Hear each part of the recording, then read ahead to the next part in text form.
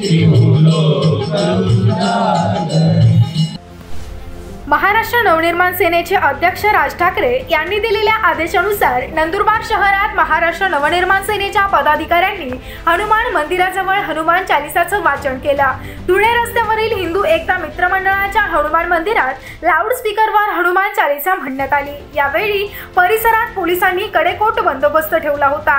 महाराष्ट्र नवनिर्माण सेनेचे अध्यक्ष राजसाहेब ठाकरे यांनी मशिदीवरील भोंगे उतरविण्याचा अल्टिमेटम दिला होता. हे भोंगे उतरवले गेले नाही तर महाराष्ट्र नवनिर्माण सेनेच्या सैनिकांनी चार मे रोजी राज्यभर मशिदीपासून हनुमान मंदिराचं दुप्पट आवाजानं भोंगे लावून हनुमान चालिसा म्हणावी असे आदेश मनसेचे अध्यक्ष रायसाहेब ठाकरे यांनी दिले होते. त्यानुसार नंदुरबार जिल्हा महाराष्ट्र नवनिर्माण सेनेच्या वतीनं नंदुरबार शहरातील धुळे रस्त्यावरील हिंदू एकता मित्रमंडळाच्या हनुमान मंदिरात सकाळी अकरा वाजता एकत्र येऊन मनसेच्या कार्यकर्त्यांनी लाऊडस्पीकर लावत हनुमान चालिसा म्हटली.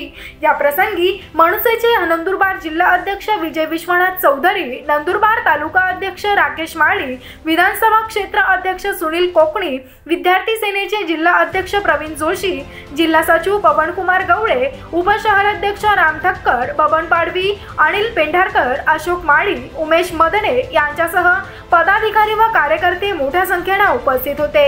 यावेळी मनसेचे जिल्हा अध्यक्ष विजय चौधरी म्हणाले की महाराष्ट्र नवनिर्माण सेनेचे अध्यक्ष राजसाहेब ठाकरे यांनी दिलेल्या आदेशानुसार हनुमान मंदिरामध्ये हनुमान चालिसा म्हणण्यात आली. तसेच यापुढेही राजसाहेब ठाकरे यांनी दिलेल्या सूचनेनुसार स्वाक्षरी मोहीम राबविण्यात येईल. या मोहिमेत मनसेच्या कार्यकर्त्यांसह नागरिकांनी सहभागी व्हावं असे आवाहन मनसे जिल्हा अध्यक्ष विजय चौधरी यांनी केलं. सन्मान्य दाससाहेब ठाकरे यांच्या आदेशानुसार नंदुरबार येथील धुळे नाका येथे आम्ही हनुमान चालीसाचे चालिसाचे पठण करण्यात आले महाआरती करण्यात आली. आणि साहेबांच्या यापुढे आणखी आदेश आम्ही काल रात्री पत्रक आलं साहेबांचं त्याच्यापुढे स्वाक्षर मोहीम राबणार आहोत आम्ही. एक दोन दिवसात. आणखी साहेबांचे जो जो आदेश येईल त्या आदेशाचे आम्ही नक्की पालन करू साहेबांचा जो आदेश आहे आम्ही तो पूर्ण करू.